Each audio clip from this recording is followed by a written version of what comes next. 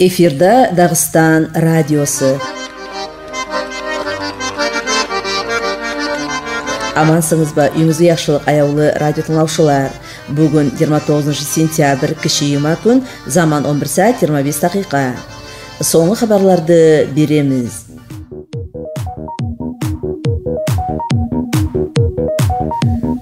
биз билдирип кеткен кепте бас калабыз махашкалада дагыстан республикасынын калк кийининин жыйындар залында алтымыш шакыртылган калк кийининин депутатларынын биринчи сессиясы өткөрүлүүдө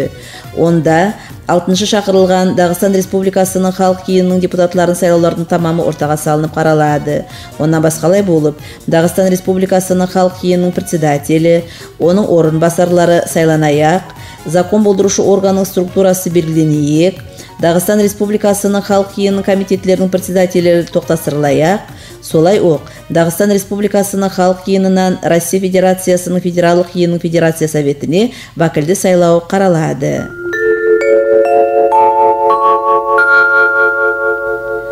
кулдук этпей таган жашоочулардын санын токтоштуруу боюнча ведомстволор ара комиссиянын кийини болуп өттү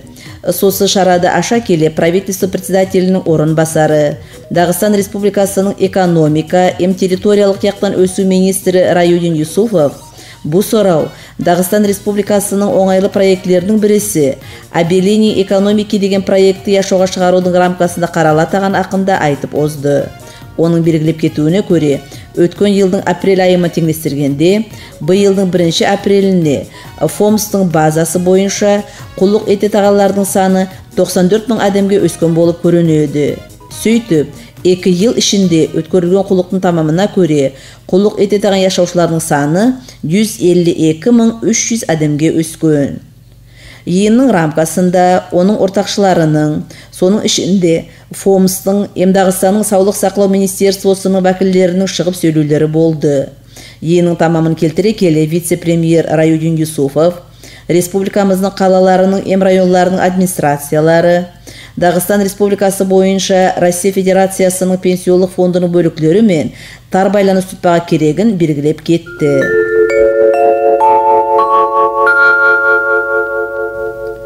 республикабыздын милдет политика боюнча министерствосунун пресс орталыгы билдире таган кепти дагыстан төртүнчү октябрде россия федерациясынын ар бир субъектинде өткөрүлэек үлкөн этнографиялык диктант деп аталган саулай россиялык акцияга косулаяк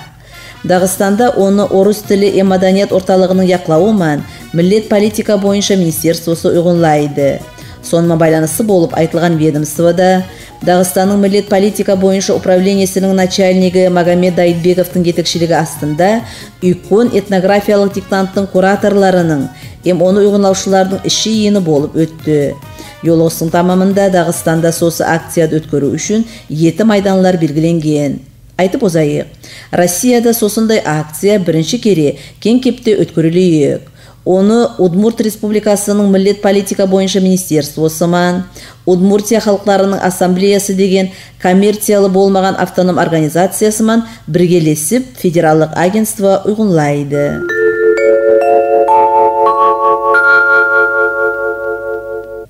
спорт.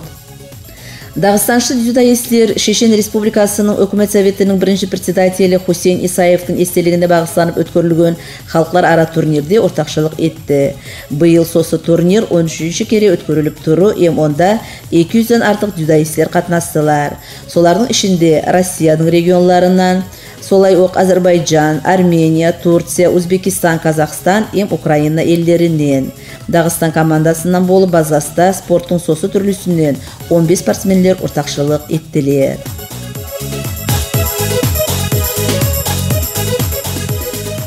аба аллери калай болояк экен дагыстандын гидромет орталыгы билдире таган кепте бүгүн республикабыз боюнча аба ашык булуттуу бир бир жерлерде кыска болжолго жамгыр жаумага деп каралады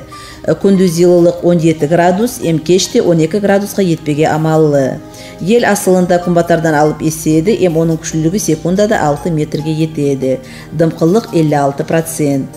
Күн көзүнүн туубу эртеңки беш саат кырк төрт дакыйкада болгон эми онун оңугу он жети саат отуз беш дакыйкада болояк узунлугу он бир саат элүү дакыйкага жетеди теңизде суудун жылуулугу он жети градус.